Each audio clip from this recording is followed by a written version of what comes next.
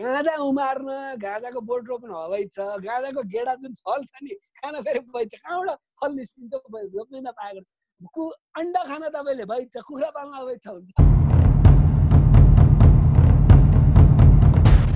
फेर्ने केही गर्न नसकेपछि फेर्ने। होइन? अब जनताले सरकार फेर्ने सरकारले कर्मचारी नेपालीहरू ठुलो क्रान्तिकारी हो। केमा क्रान्तिकारी नेपालको गणतन्त्र र संहिता नचिनेकै भूत हो। खतरनाक छ। बङ्गलादेश बाहेक कुनै पनि देशमा देशको नक्सै छैन कि कुनै पनि छापमा।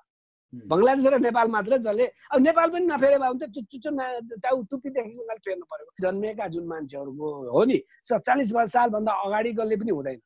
सत्तालिस सालभन्दा पछि जन्मिएका मान्छेहरू तिस वर्षका भए होइन? ती मान्छेहरूको हातमा नेतृत्व जाने गरी फिफ्टी सिक्सटी सेभेन्टी पर्सेन्ट नेतृत्व जाने गरी यसमा गरिब किसानहरू सबै चाहिँ एउटा सामान्य निम्न मध्यम वर्गको हुन्छ। तिन वर्ष वर्षमै हुन्छ।